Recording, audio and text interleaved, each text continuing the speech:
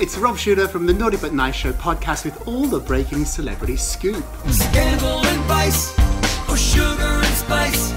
It's naughty but nice with Rob. taking care of her man. Hailey Bieber is taking good care of her husband, Justin Bieber, after he revealed that half of his face is paralyzed from a rare disorder.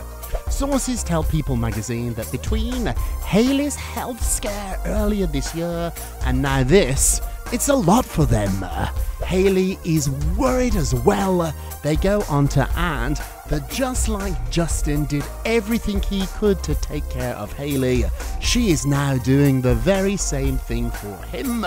They are a great team and they will work through this together. Sources add, quote, Justin can't wait to recover and continue working. He has had to postpone several concerts, but he hopes to reschedule those very soon. And you know what? With Hailey by his side, I predict all this will work out just fine. Hey, Justin, we're sending you our best. It's naughty but nice with Rob. If you love this gossip, I've got even more juice for you.